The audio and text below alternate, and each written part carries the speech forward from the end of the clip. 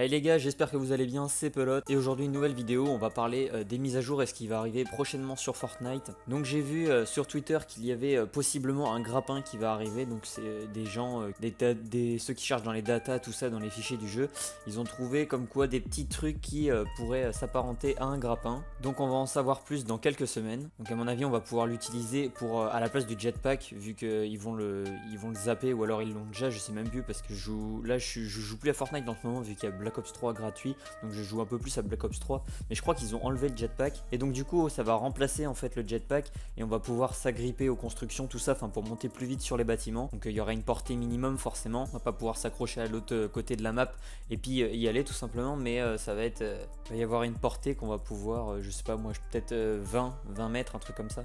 Ensuite, on va parler de la nouvelle grenade à gaz. Donc, comme vous avez vu, ça va être euh, une espèce de grenade qui va se jeter euh, sur les ennemis. Donc, elle va développer un gaz. Euh, pour l'instant, je sais pas trop si elle va faire beaucoup de dégâts ou pas. À l'heure où je joue sur la vidéo, il y en a beaucoup qui en ont parlé dans leur précédente vidéo. Donc, n'hésitez pas à aller faire un tour aussi. On va aborder aussi la nouvelle danse Fortnite. Donc, je vous la mets tout de suite à l'écran.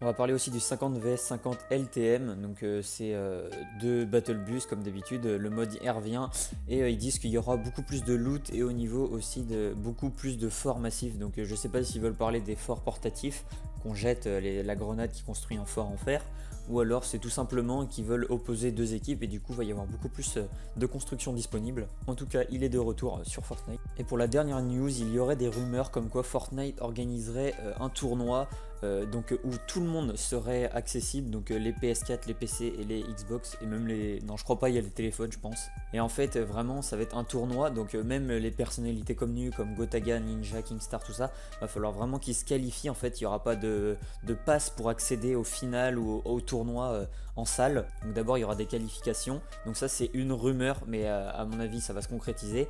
Donc ils organisent ça pour la Coupe du Monde et donc du coup tous les joueurs pourraient y participer sur toutes les plateformes différentes. Donc voilà les gars, j'espère que la vidéo vous aura plu. N'hésitez pas à lâcher un petit like, à vous abonner et à partager, ça me fera grave plaisir. On rush les 70 000 abonnés, vraiment ça a augmenté de ouf et je vous en remercie.